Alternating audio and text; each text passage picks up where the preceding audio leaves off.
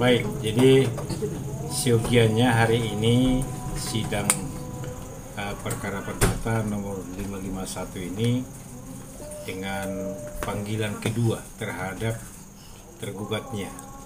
Akan tetapi berdasarkan informasi yang kita peroleh dari majelis hakimnya, ternyata panggilan yang dilayangkan oleh jurusita kita kepada tergugat dinyatakan tidak sah dan patut karena ternyata alamat yang dibuat sebelumnya di Jalan Cempaka 3 ini yang bersangkutan tidak di situ lagi sehingga diperlukan untuk pemanggilan kembali di alamat yang baru. Nanti pada persidangan yang akan datang dari kuasa penggugat akan menyerahkan alamat yang baru dari tergugat sehingga dengan alamat yang baru tersebut baru dilakukan pemanggilan kembali. Berarti alasan tidak hadiran ini tidak tidak terpanggil Karena salah dari alamat, Iya. Telat.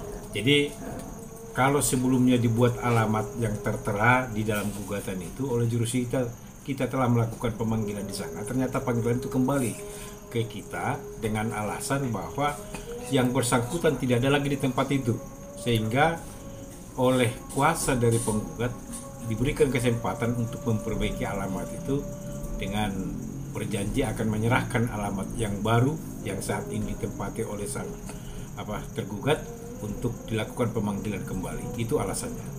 Alamat yang tertera, mungkin sekarang yang di mana, Pak? Kalau alamat yang sebelumnya tertera di sini adalah Jalan Cempaka 3 nomor 22 Kapling 21 RT 004 RW 011 Kelurahan Bintaro Kecamatan Pesanggerahan Bintaro Jakarta Selatan.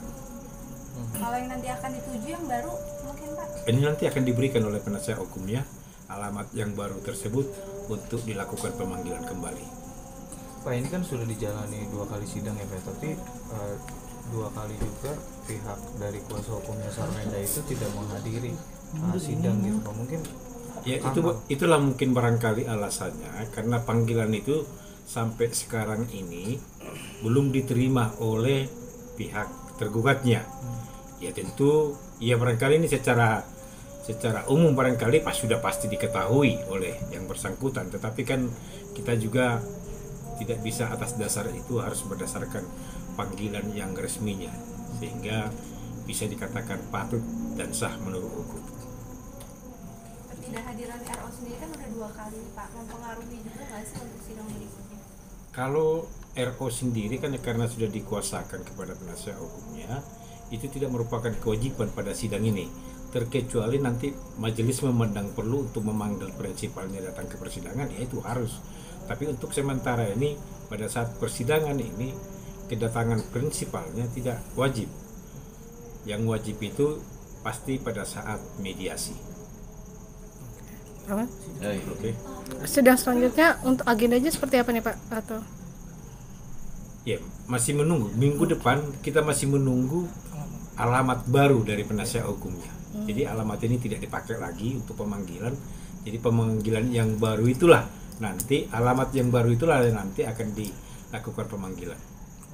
Berarti baru akan dilakukan pemanggilan itu Iya. baru minggu depan, Iya, Pak? setelah ada alamat baru yang diberikan oleh kuasa penggugat. Dan itu diwajibkan hadir nggak, Pak? Belum, belum ada kewajiban itu untuk hadir.